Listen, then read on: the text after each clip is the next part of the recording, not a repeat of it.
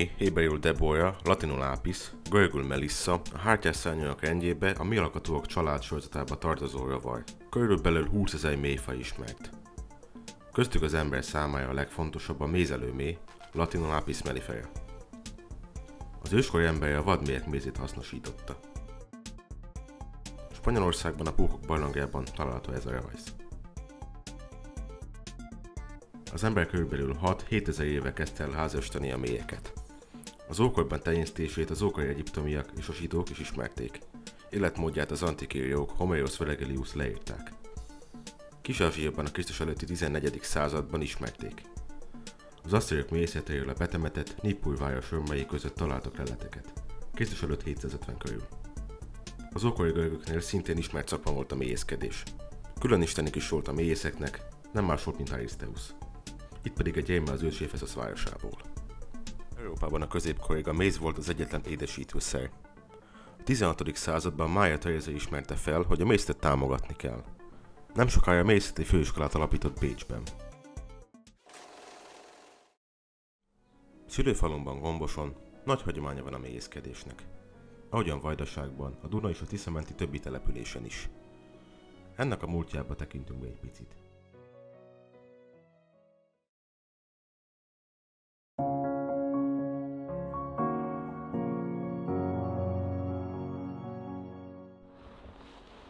Mézet nektárból állítják elő, csak most pillanatnyilag mézelő növények nem nagyon vannak, majd az árva csalán lesz nem sokára.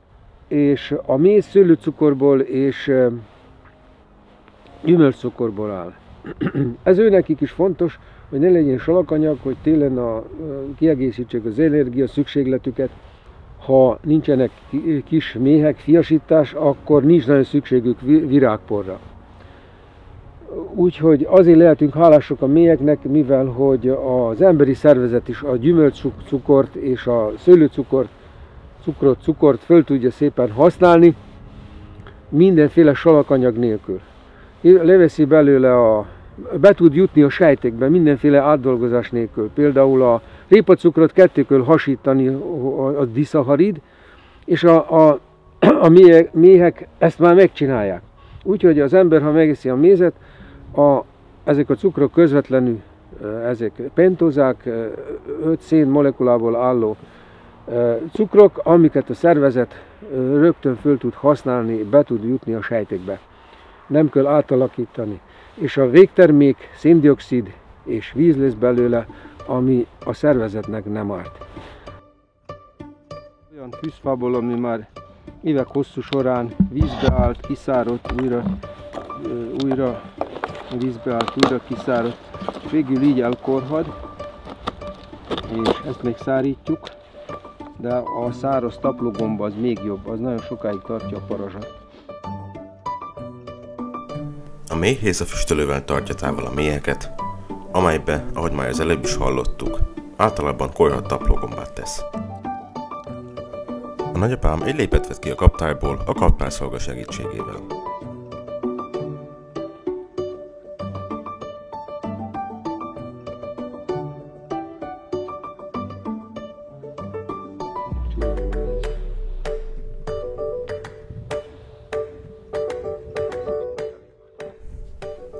Kemény munka után megérdemlik egy kis jutalmat, hiszen a kóstolás is egy nagyon fontos rész. Az igaz, hogy nem én végeztem a piszkos munkát, de azért nekem is egy kicsi a lépes mézből.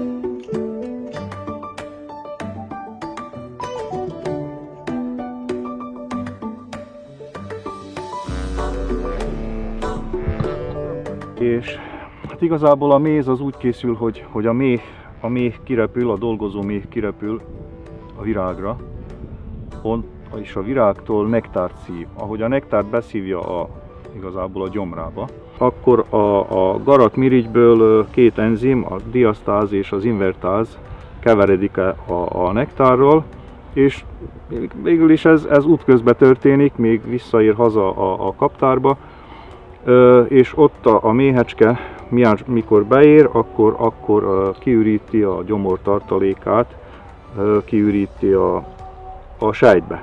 És ezt utána tovább átveszik a, a, a, másik méhek, akik, akik bent vannak, és ö, igazából csak párolás történik, amivel lepárolják a vizet. Szóval besűrítik, hogy, hogy tiszta méz maradjon.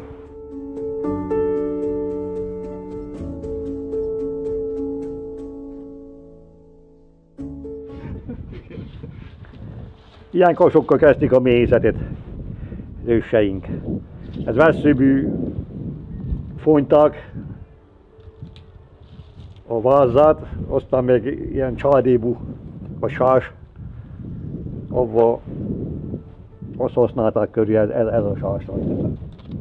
A mélyek, hogy rajoztak, találtak egy rajt, fönnlúgott a fának, kezdett, azt oda vitték, és akkor ahol volt a méhraj alá tették és megütötték alá, akkor azok belepottyantak, és ma be is volt telepítte a kas.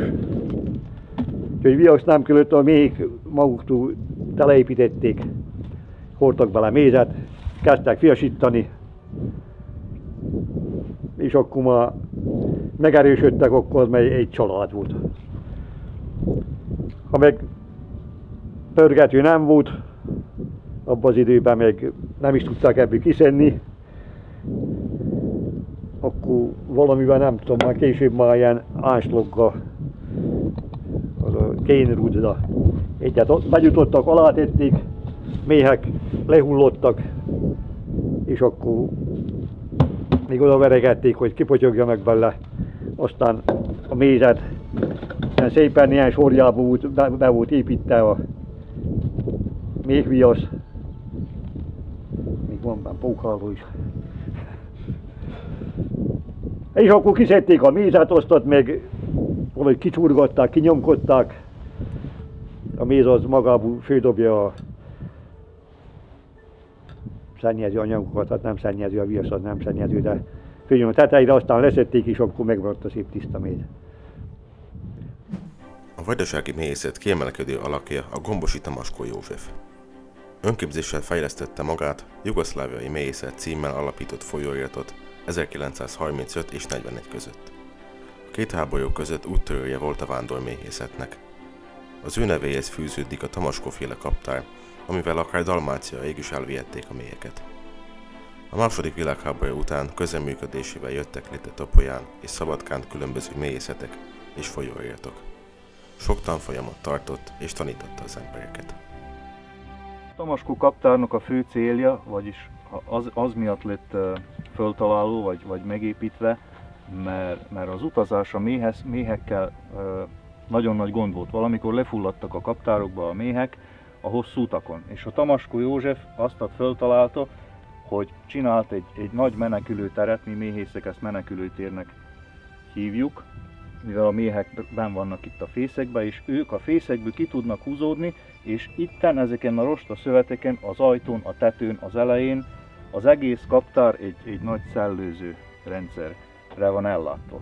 És azért, és azért, azért ez a kaptár megfelel hosszú utakra. Sokszor napokig, napokig utaztak vele vonaton, szekéren, mert, mert más, másképp nem lehet itt. És a másik nagyon jó dolog, ami, ami ez az itató és etető rendszer, a útközben a méheket lehetett itatni. Méghozzá úgy, hogy a kaptár ki se lett nyitva, hanem, hanem itt volt egy ilyen, ilyen, ilyen hozzáalakított tölcsér, amivel, itt a tölcsér. amivel lehetett, amivel lehetett útközben itatni a méheket.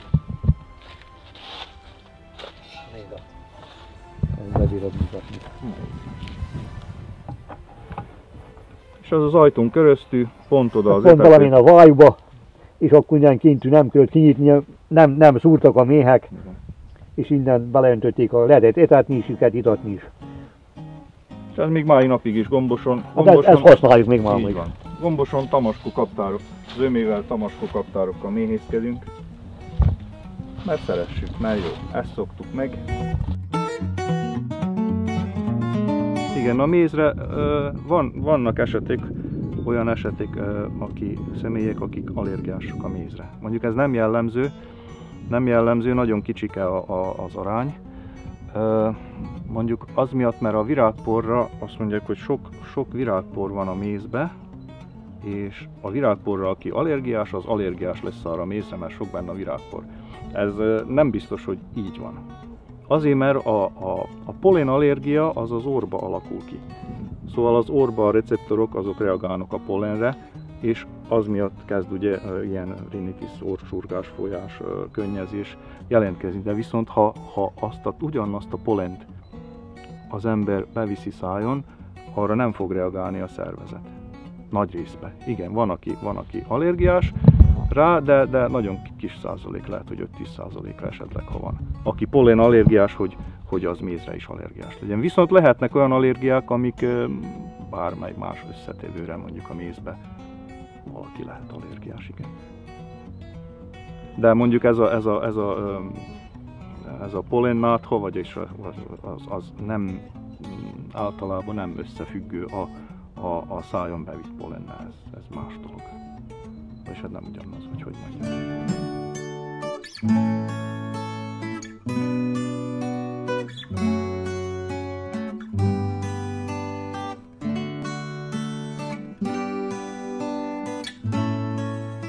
Hát ez itt egy pörgető, aminek az a lényege, hogy úgy néz ki, mint egy kaptár. Igazából az miatt, mert, mert valamikor, amikor még a, a kaptárak a földön voltak, úgy hurcogottak, hogy rakottak, akkor ez a pörgető álcázó volt egy, egy ugyanolyan ládában, mint a, mint a kaptár. Hogy ne tudják, hogy ez pörgető. De viszont, viszont ha ezt fölnyissuk, akkor itt lehetett vele dolgozni. Ide rakták bele a kereteket, méztét kereteket.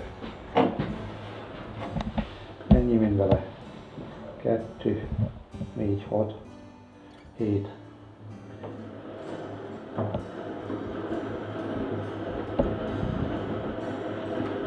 Kicsit dobal, de sokat pörgettek vele. Ez így van. valamikor a, a, a, a pörgetők, meg a, meg a tároló edények azok, azok organizott bádoglemezből készültek. Akkor ugye utána jöttek ilyen alumíniumpannák is voltak, abba is tároltak mézek, ezek ilyen 20-25-50 kilós edények voltak. Többre nagyon nem is volt szükség, mert nem voltak nagy méhész, méhészetek, úgyhogy Úgyhogy az, az, az éppen elég volt. Meg az könnyebb volt mozgatni. Meg könnyebb volt mozgatni, így van. Akkor utána jöttek ilyen, ilyen 150 kilós hordók, most meg már 300 kilós hordókba ö, tároljuk a mézeket. Műanyagba is, ö, acél, acélhordókba is, ami, ami, ami ilyen étkezési bevonattal van, van, van vagyis bevonva vagy befestve. Most a legújabb dolog meg a, a rozsdamentes acél. A pörgetők, vannak mézes kannák is rozsdamentes acélból. Ez a legújabb, az a legtisztább, a leg, leghigiénikusabb. Villanya működnek, így van. Ez legalább 70-80 éves az a pörgető. Most ki a láda lehet, hogy nem, de ez is olyan. A pörgető. Olyan. A keretek bele vannak ide állítva, és amikor meghajtsuk, a centrifugális erő ö, hatására a méz kicsapódik a pörgető, a pörgető falára, ahol lecsurog, és itt van egy ilyen kieresztő nyílás, csap, csap cső, ahol, ahol össze tudjuk szedni. Ugye, hát egy vödröt alatettek, egy szőrőkét megszülték mindjárt. Egy egyszerű eljárás. De nagyszerű. Annak örültek, mikor már tele volt a vödör. Még a hordó. Hát aztán meg a hordónak.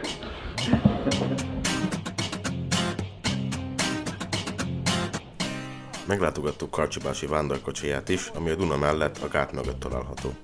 A mélyek innen gyűjtik az zárt területet borító fűzfák nektárját.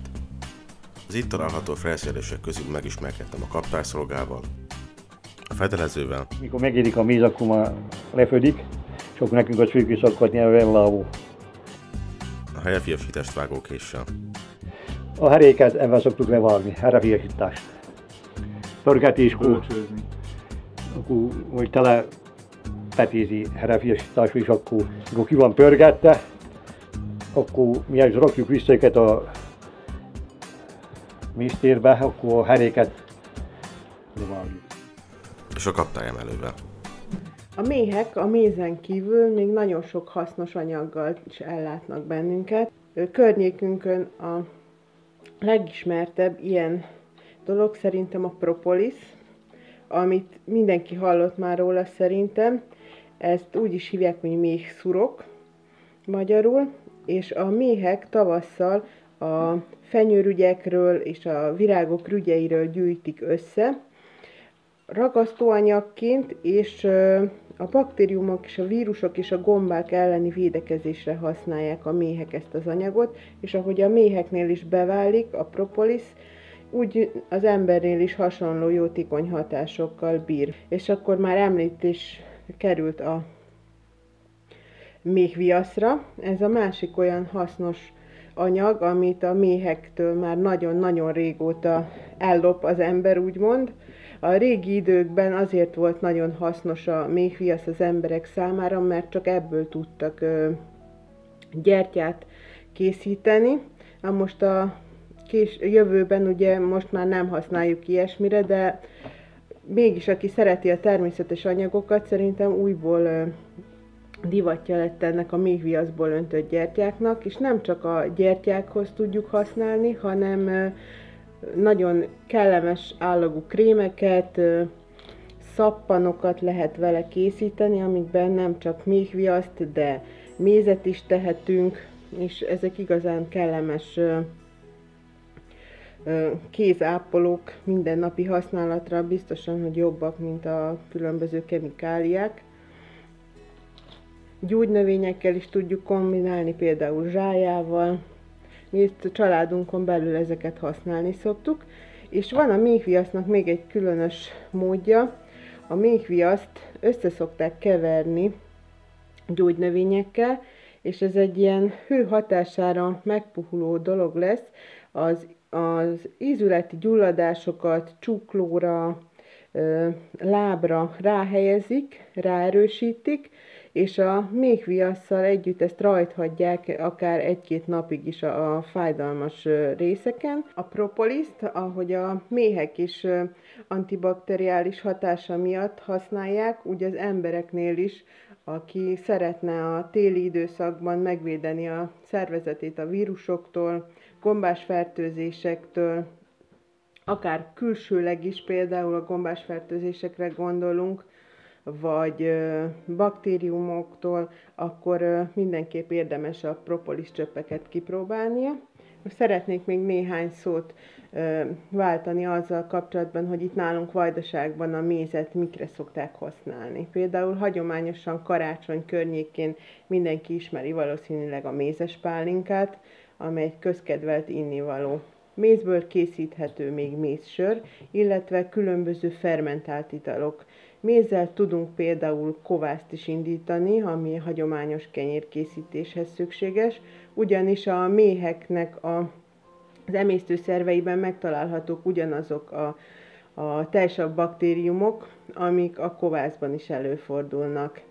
Mézet úgy is tudunk mézből egészséges, minden nap kanalazható, immunerősítő kis itókát vagy szirupot készíteni, hogy mézbe beleteszünk fokhagymát, vagy gyömbért, vagy citromot, ezek a zöld diót, fenyőrügyeket, a méz kivonja ezekből a gyümölcsökből vagy növényekből a hatóanyagokat, például zsáját, és a zsája is egy nagyon jó torokfertőtlenítő hatású gyógynövény, ami, amiből ugye a méz kivonja a hatóanyagokat, és a mézen keresztül a gyerekek is szívesebben elkanalazzák, mert nincs rossz íze a méz édes ízével együtt, a gyógynövények is ö, könnyen elfogyaszthatók, még azok számára is, akik annyira nem rajonganak értük.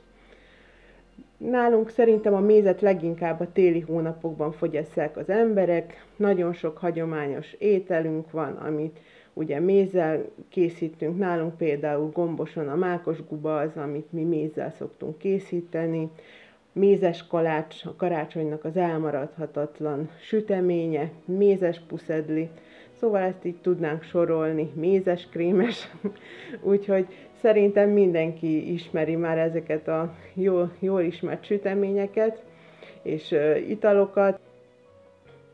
És most a modern időkben most már olyan dolgokat is tudunk még a mézből készíteni, ami régen ugye nem, nem volt ismert számunkra, ugyanis mióta a gyümölcsöket liofilizálás útján hidegen szárítással teljesen a vitamintartalmukat megőrizve le tudják szárítani, ezeket a finom liofilizált málnát, aróniát, gyöm, gyömbért, citromot össze tudjuk keverni a mézekkel, és ezekből egy igazán finom, különleges, krémes állagú mézet tudunk kapni, ami azon kívül, hogy nagyon finom, tényleg vetekszik a legfinomabb lekvárral is, mert a nem tartalmaz cukrot, csak mézet, tehát csak is természetes édesítőszer van benne, illetve a gyümölcsöknek a, teljesen megmarad a vitamin tartalma, úgyhogy nevezhetjük a, a jövőnk egészséges lekvárának is a, a, gyüm, a liofilizált gyümölcsökkel készült krémézeket.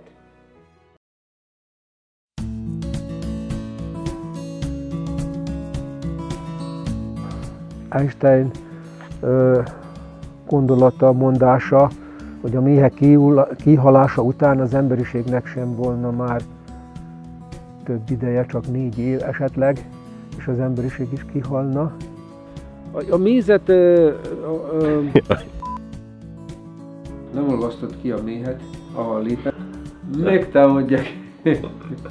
Egy, kettő, három. Kaptárba is tiszta kézzel nyúlunk, nem nyúlunk piszkos kézzel soha. Szándék is a méhekről való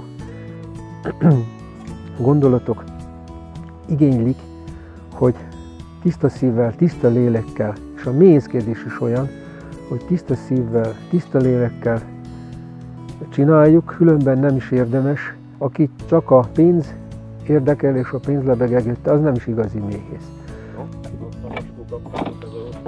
Ez a gomboson nagyon szépen működik a méhészeknek az összetartása. Kommunikálnak egymással. Minden vetett, minden növény majdnem vetettünknek. Rengeteg a, a vegyszer, rengeteg a, a mérgezés, amivel egy, méhé, méhek, egy méheknek, és a méheknek, meg a méhésznek ki kell harcolni magának. A éghajlat megváltozott, szárosság, az is nagyon kihat a növényekre, virágokra.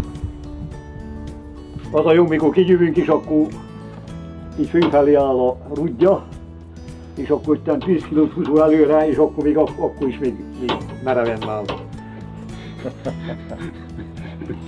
Fiataloknak azért mondom, hogy legyenek méhészek, mert ez nem nehéz munka.